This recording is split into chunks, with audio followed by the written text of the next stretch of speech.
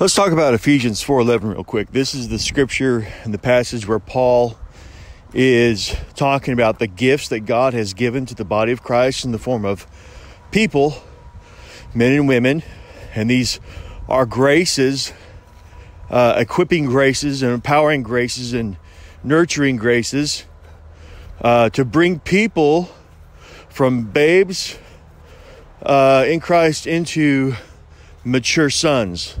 And we talked about this before that that word mature is the word perfect in the King James is in the Greek teleos, which means a full grown son.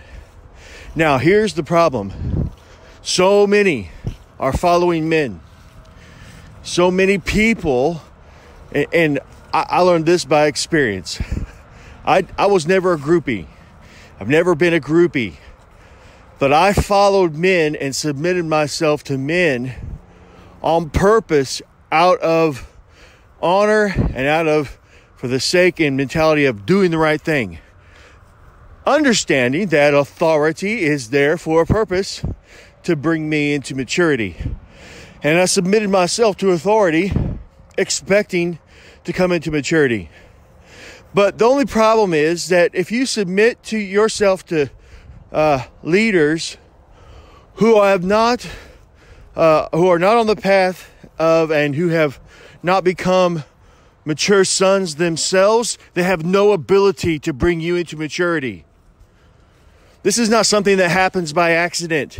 If it was, then everybody's kids would be good. Nobody's kids would grow up and go to jail. Maturity is not an accident. It is intentional, it is focus, it is discipline, and it is separating yourself.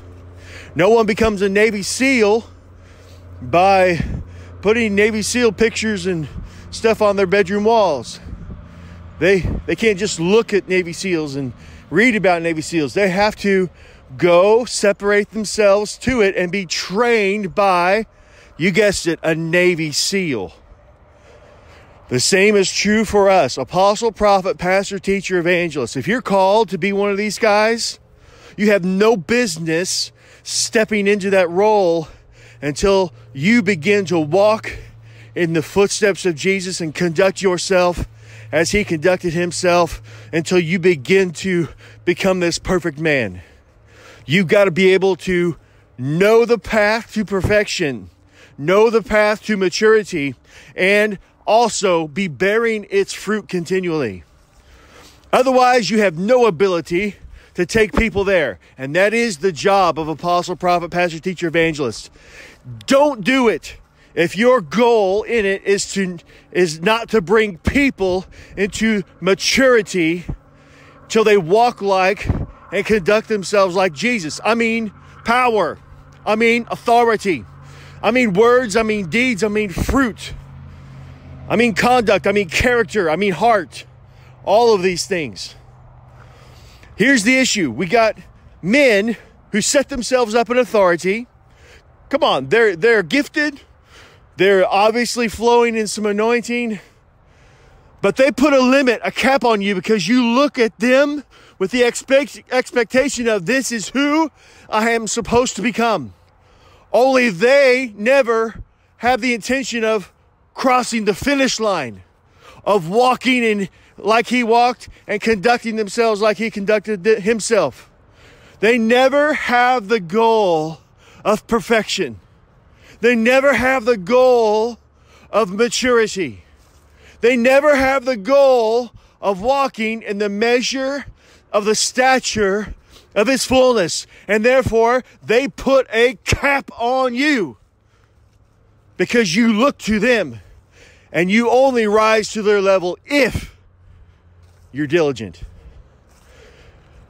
If you consider yourself a leader, if you consider yourself, hey, I might be one of these five gifts to the body of Christ, the only, the best and the only thing that you need to do is to bear his fruit in power, in demonstration, in authority, in ability, in character, in heart, and in nature. And until those things start popping, you have no right and you have no uh, you, ha- you have no reason to step in front of people and say, Follow me.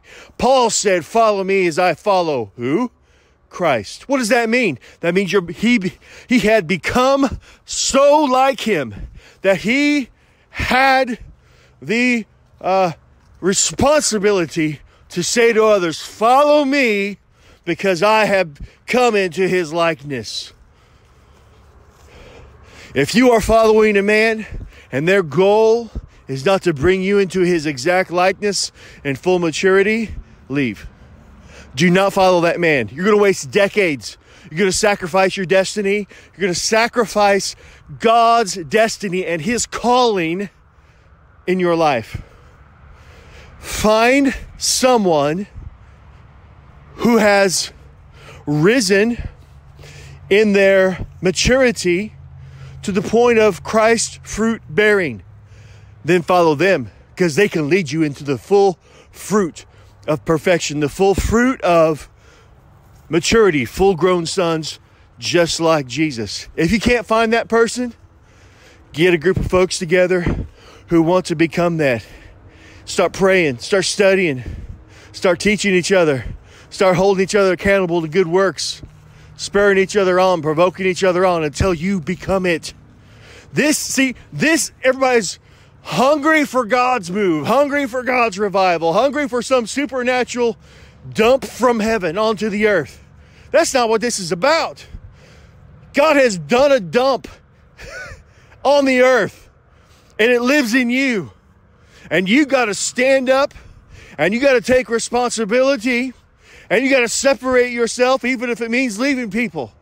You got to separate yourself to this thing so that you can come into perfection until you and those like minded with you become the manifestation of the measure of the stature of the fullness of Christ. There you will find the pouring out of His Spirit. There you will find the multitudes thronging for what you have. There you will see the advance of God's kingdom and dominion as it captures cities, as it liberates regions, as it makes disciples of nations in Jesus' name.